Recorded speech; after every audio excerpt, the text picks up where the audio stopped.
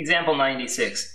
Researchers conducted a study on the age of sexual debut for different genders and ethnic groups. For the Euro American males surveyed, the average age at the time of first intercourse was 16.61 years old. The standard deviation was 2.33 years old. We are interested in the average age at the time of first intercourse for groups of 33 randomly selected Euro American males. Use this information to answer the questions below.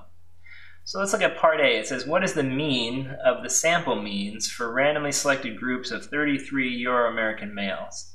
So what's the mean of the sample means, right? So that's like saying, in other words, what's the average sample mean, correct?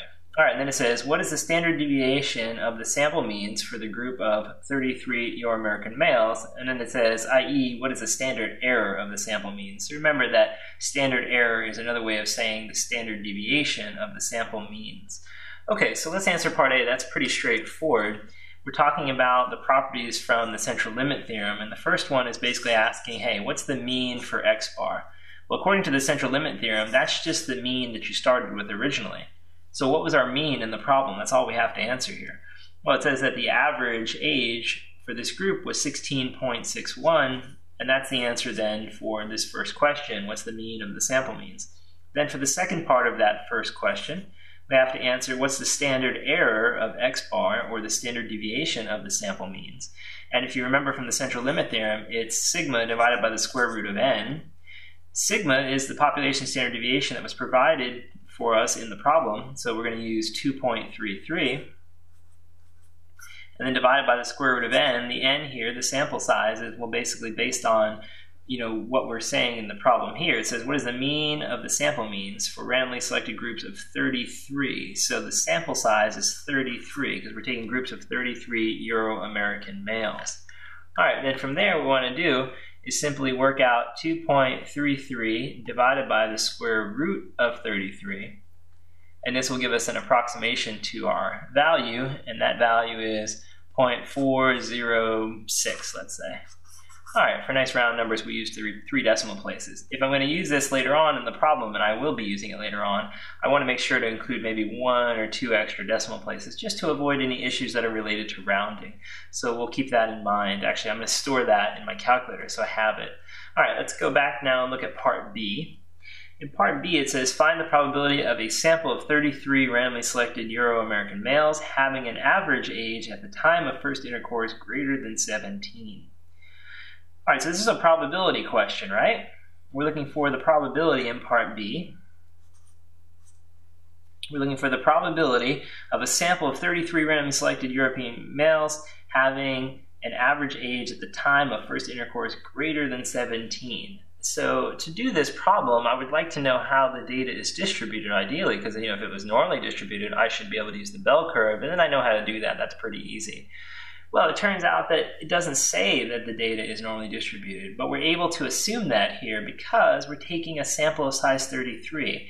We're not looking for the probability that an individual Euro-American male has had intercourse for the first time at an age greater than 17. That's not what it's asking us. It's looking for the average of a group of 33 randomly selected males. We're talking about their average.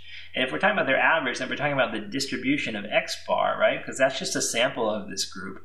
And if we're talking about its average, we're talking about the sample mean for that group. And I happen to know that the sample mean is normally distributed according to the central limit theorem as long as our sample size is over 30. So it looks like we can assume a bell curve here because of the central limit theorem. And that's the power of the central limit theorem that even if we don't have data that's normally distributed or it hasn't been told to us and we have no idea if it is or isn't, we can assume normally distributed for x bar as long as our sample size is large enough. All right, so what we're going to label down here is the traditional z-axis, right, centered at zero. And instead of an x-axis, I'm going to use an x-bar axis. x-bar meaning essentially the sample mean that we're talking about in this problem. Now, the thing here that we have here is the average, the mean for x bars. that's 16.61. We're going to center that here because if this is an x bar number line and the mean for x bar is 16.61, it should go right in the center of the curve. The standard deviation we usually put up here, so the standard deviation for x bar I'm also going to put in, and it's 0.40, remember actually it was 0.4056 if I remember correctly. We had rounded it up a little bit, but now that we're going to use it in a problem, I want to you know give a couple extra decimal places. So there it is. And then from there, I need to look at the number they're asking about. They're asking about having a value that's greater than 17. So 17 is to the right, and greater than it, I would shade to the right then. So all I have to do now is convert this into a z-score, right? And then look that z-score up, and the rest is pretty much routine. So let's go ahead and do that. Let's convert that 17 into a z-score. I'm going to do it over here. So that'll be 17 minus the mean, right? The mean is 16.61 over the standard deviation, which is 0.4056. Let's put all that together and see what we get. So I'll have 17 minus 16.61, close it up, and divide by 0.4056. And when we're done, we get approximately 0.961, but remember, if we're rounding off to two decimal places like we usually use for z-scores, then we should just call it 0.96. So 0.96 is our z-score. Let's go take that now and go to our table and figure out what area we get for here to here. Remember, that's what our z-table will give us. And then from there, we'll determine what that tail area is. All right, so let's go do that and we'll come right back. Okay, so we're looking at the value 0.96, so we'll find the 0.9 row, 0.9, and go over to the sixth position here, which we end up seeing 0.3315 is our answer. Okay, so we found the answer 0.3315. That is the value when we look up 0.96 on our z-chart. Now from there, what's left over in the tail? Well, to find the final area, we're going to say, hey, half of the curve is 50% minus the 0.3315, right? So we'll use a little old school borrowing, right? So 10 take away 5 is 5, 9 take away 1 is 8, 9 take away 3 is 6, and 4 take away 3 is 1. So we get the answer 0.1685, and this is ultimately the probability that an X bar value from this group of 33 Euro-American males will be greater than the value of 17.